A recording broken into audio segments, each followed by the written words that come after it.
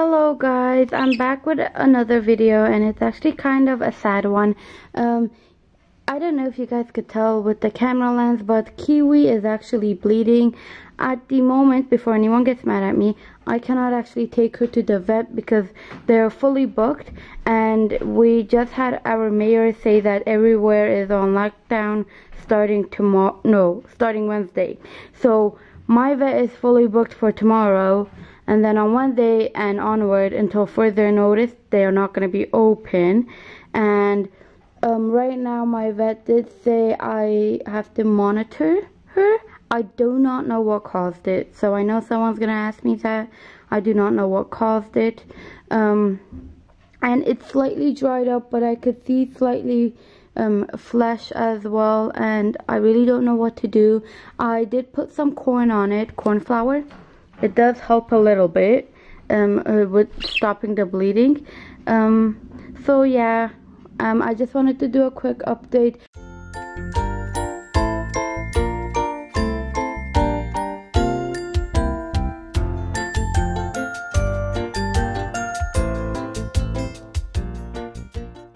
I will be messaging a few places. My vet did send out links.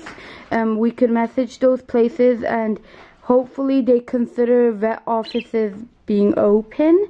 Um, and not to mention my vet already um, for the past a week and a half or so they were already uh, making important um, guidelines when it comes to coming to the vet. So regular vet visits anywhere are not allowed anymore. Um, only emergencies or surgery related uh, visits were allowed. So again this I would consider it um, an important emergency. The good news is it's not bleeding profusely but I don't know what caused it. And she looks also very stressed. Let me see my phone's calling actually. So I had to pick up that phone. Sorry about that guys. Um, I am gonna separate Kiwi at the time being. Kiwi I think she would benefit from a quiet place and I know Edward's not gonna really like it but I don't know what caused it.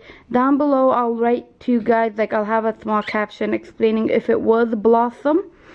Um, because I, you can never, you never know. Even with the same species, birds could fight and fight deadly. Um, initially when I saw her beak, um, it's not even her beak, like her cere, I assumed that Kiwi was um, preening Edward, which Edward's at the back, you can't really see Edward really well, but Edward has a lot of pin feathers, like a lot.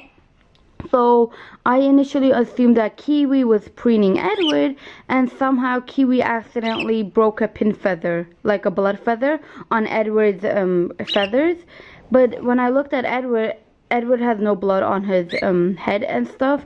So I'm like, okay. Um, and I was re really worried. I actually didn't check Blossom.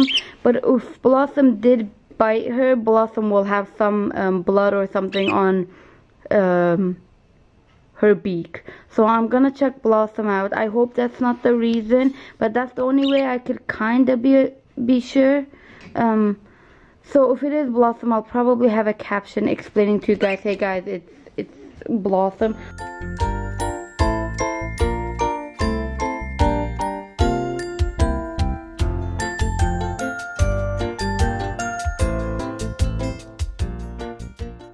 So I'll try getting a close-up. I don't really want to stress out um, Kiwi a lot, to be honest. And as you could tell, she's already panting. So I'm to get my cage ready. I have a spare cage, kind of blurry. I'm to get my spare cage ready for Kiwi. And maybe I'll even videotape to you guys um, how it's looking for her. But for the time being, hopefully hopefully it's nothing serious but i am worried. So i'll keep you guys updated. Like i mentioned earlier i can't go to my vet. They're fully booked. And even when they're fully booked be mindful that all those bookings are emergency or surgery related. Like my vet is not booking any regular appointments no trim nail trimmings no beak trimmings no general checkups none of those. So the, the bookings are already itself emergencies and you know there's nothing i could do. And I mentioned it earlier, the mayor has put, um, at least in my area, um, Toronto, we're going to be on lockdown starting tomorrow nighttime. And like I said, my vet's fully booked. Um, they might be able to squeeze me in if the bleeding still continues or it looks like it's dried. I, I know it's hard to tell on camera, but there's a lot, a bit dark spots. So it looks like it's drying up. But I am going to separate her for at least a week or so, just so she heals up. And I'll keep you guys updated about her health. Um, so yeah, thank you for watching. Hopefully you guys keep her in your prayers. Thank you guys. If anything changes, I'll keep you guys updated.